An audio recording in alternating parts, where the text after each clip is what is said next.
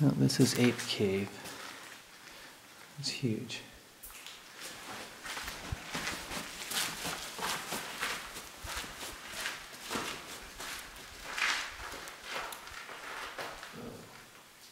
This is me and Ape Cave.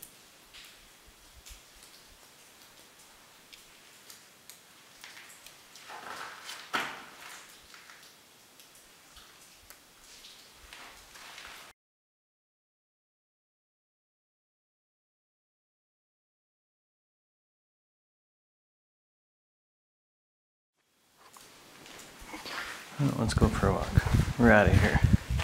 This is Ape Cave. It's a lava tube made of basalt, which is much more flowy than andesite.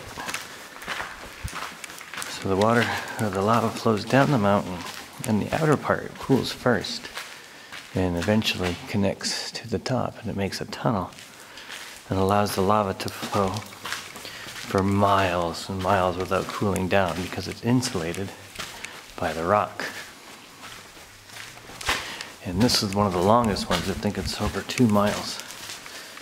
Unfortunately, I don't have a lot of time to do the whole two miles. I'm sure there's really cool stuff down there. But it is time to go.